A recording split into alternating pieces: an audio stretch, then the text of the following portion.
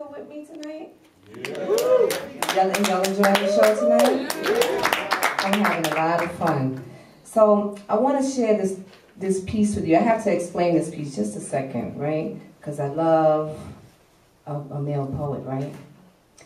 And uh, so I was in this relationship with this poet because he seduced me, right? you know, it's the poetry.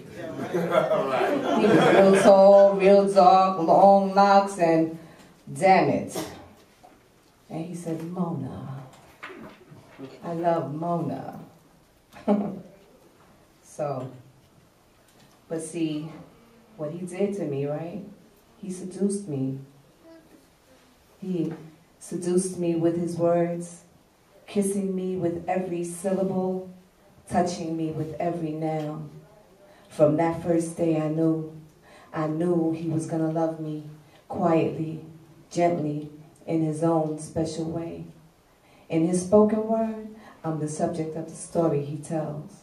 His desire for me, from his lips, mm, the words flow freely.